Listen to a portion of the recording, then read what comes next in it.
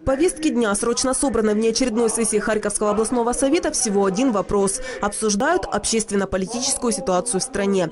Председатель облсовета Сергей Чернов берет слово первым. Он стал невольным очевидцем столичных инцидентов. Полетели камни, неизвестные предметы в стекла высшего представительского органа Киевской области.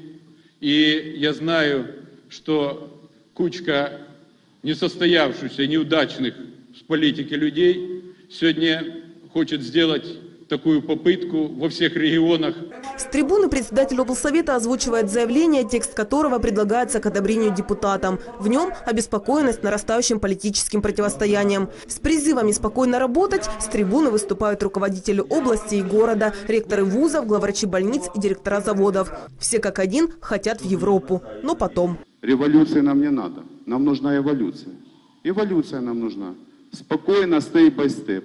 Чтобы наши дети, это молодежь, которую вы хотите призвать под свои знамена, чтобы знала, где их первое рабочее место. Если только мы соглашаемся на те условия, которые нам предлагают наши европейские партнеры, армию безработных пополнят сотрудники наших предприятий.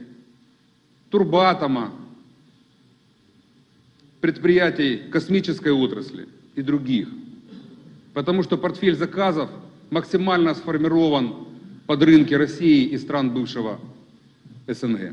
Мы, конечно же, европейская страна, и мы стремимся в Европу. Но наши рынки на Востоке. Мы не сможем сформировать быстро новые рынки сбыта. Но представители оппозиции неуемны. Под крики из зала «Позор» депутат от «Батьківщини» Иван Варченко возмущается. Не підписання угоди, про яку протягом року говорила вся Україна, про яку протягом року ми переконували весь світ. Вернуть конструктив в сессионный зал стремятся народные депутаты. Как бы не хотелось оппозиции, никакой отставки правительства не будет. После длительных обсуждений депутаты большинством голосов голосуют за принятие текста заявления. Это нужно, уверен Сергей Чернов, чтобы успокоить людей. Прошла информация о том, что областные советы, городские советы, районные советы настроены и готовят решения, которые бы призывали к введению чрезвычайного положения э, в стране. Сегодняшняя сессия показала, что это очередная ложь. Я, как председатель областного совета, ответственно заявляю, что такой проект решения инициативной группы не готовится и готовиться не будет. Несмотря на голосование первого и единственного вопроса повестки, сессию не закрывают. В работе объявлен перерыв на неопределенный срок. По плану очередное заседание должно было состояться 19 декабря.